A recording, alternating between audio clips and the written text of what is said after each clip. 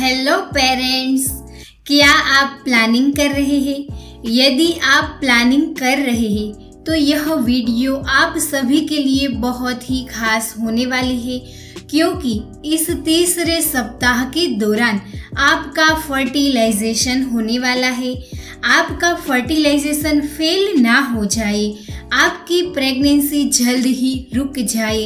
इसीलिए कुछ महत्वपूर्ण बातें जो आपको ज़रूर ध्यान में रखनी है। तो यदि आप प्लानिंग कर रहे हैं तो यह वीडियो आपको शांति से, ध्यान से दो बार नहीं, तीन बार सुनना है, ताकि आपकी प्रेगनेंसी जल्द ही रुक जाए और वह भी हेल्दी हैप्पी और वह भी दिव्य शिशु को पाने हेतु कैसे अपनी प्रेगनेंसी को सही तरीके से प्लान करें, वह भी आपको यह वीडियो में जानने को मिलेगा। तीसरे सप्ताह में आपको पता नहीं होता कि आप गर्भ धारण करने वाली है। इसीलिए पीरियड के पहले दिन से ही आपको अपना पहला सप्ताह की गिनती करनी है। इस तरीके से दूसरा और तीसरे सप्ताह को भी अपना प्लानिंग फ़ेज़ कहना है। दूसरे सप्ताह का एंड और तीसरे सप्ताह के शुरुआत में आपका एग स्पर्म से फर्टिलाइजेशन होता है, यानी आपका गर्भ रुक जाता है, जिसे जाइगोट कहा जाता है। तीसरे वीक के दौरान फर्टिलाइज्ड एग थोड़े ही दिनों में यूट्रस तक पहुँचता है। यानी फेलोपियन ट्यूब से वह धीरे धीरे गर्भाशय तक जाता है। इस तीसरे महत्वपूर्ण सप्ताह के दौरान यह अंडाणु गर्भाशय में स्थापित हो जाता है और यह जायगोट एक में से दो दो में से चार चार में से आठ वैसे ही मल्टीपल टाइम्स डिवाइड होता जाता है। यह जाइगोट यूट्रस तक पहुँचते पहुँचते सौ से भी ज़्यादा कोशिकाएँ छोड़कर एक गेंद सा आकार ले लेती है, जिसे हम ब्लास्टोसिस कहते हैं। उसकी साइज़ बहुत ही छोटी होती है, लेकिन बच्चे का डेवलपमेंट की प्रोसेस जो होती है, वह दो गुना होती है। वह जल्दी होने लगती है। तब आपकी ओवरी से इस्ट्रोजन और पोजेस्ट्रोन नाम के दो प्रेगनेंसी हार्मोन रिलीज़ करती है। यह हार्मोन यूट्रस में जाके बच्चे को प्रोटेक्ट करती है, उसके विकास में मदद करती है। यह हार्मोन रिलीज़ होने के कारण होने वाली माता को कुछ लक्षण भी दिखाई देते हैं, जैसे कि मुँह में कुछ अजीब सा स्वाद महसूस हो सकता है उल्टी और मतली जैसा महसूस होता है। लगातार पेशाब आना, हमेशा थका हुआ महसूस करना, शरीर का तापमान अधिक होना, यह सभी लक्षण प्री मेंस्ट्रुअल जैसे हो सकते हैं। ज़्यादा कुछ फ़र्क नहीं होता।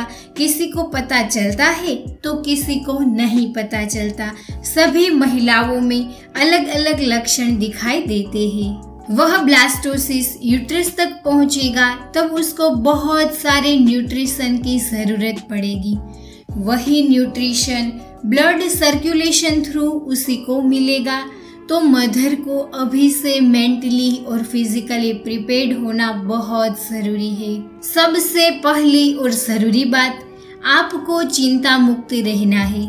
तनाव युक्त रहने से शरीर कोर्टिशाल नामक स्ट्रेस हार्मोन रिलीज़ करता है, जो शिशु के विकास में बाधा डाल सकता है। प्रेगनेंसी से पहली तिमाही में स्ट्रेस लेने से कुछ महिलाओं में गर्भपात की आशंका भी होती है।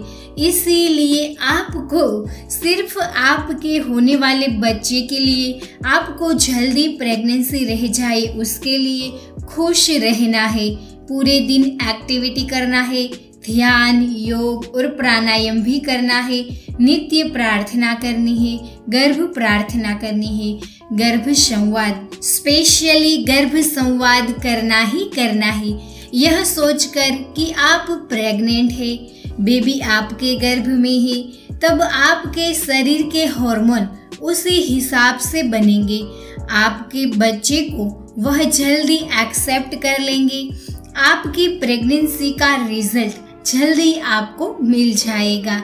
प्रेगनेंसी वीक के अनुसार गर्भ संवाद आप वैदिक गर्भ संस्कार ऐप में सुन सकती है, जो आपके शरीर में पॉजिटिव हार्मोन रिलीज़ करेंगे।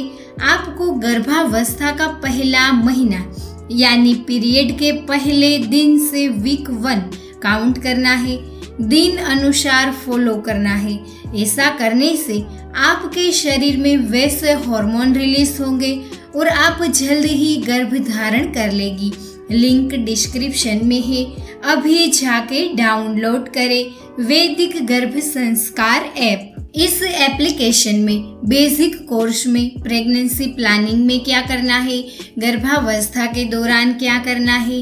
गर्भ संवाद गर्भ प्रार्थना गर्भ स्तुति गर्भ संस्कार म्यूज़िक गीत, संगीत, सब कुछ फ्री में आपको सुनने को मिलेगा।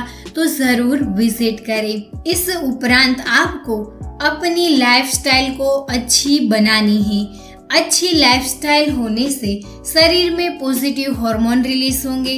वह ब्लड सर्कुलेशन थ्रू बच्चे तक पहुंचेगा। आप जैसे विचार एवं आचार रखेंगे उसके आधार पर ही शिशु को पोषण एवं हार्मोन प्राप्त होते हैं। दूसरी बात हेल्दी डाइट लेना बहुत ज़रूरी है।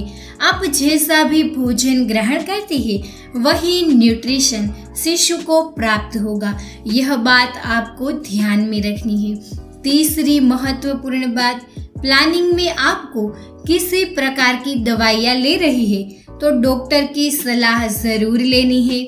चाय कॉफ़ी बंद करना है, धूम्रपान, तंबाकू और अल्कोहल को बिल्कुल बंद कर देना है।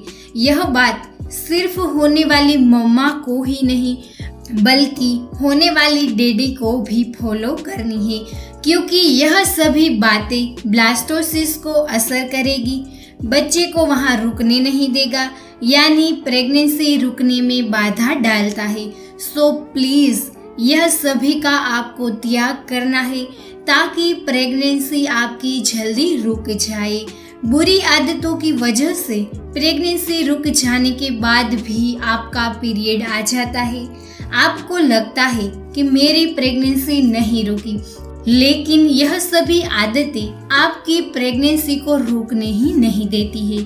इसीलिए सो प्लीज़ मेरी आपसे रिक्वेस्ट है, यह सभी बातों का आपको ज़रूर ध्यान रखना है।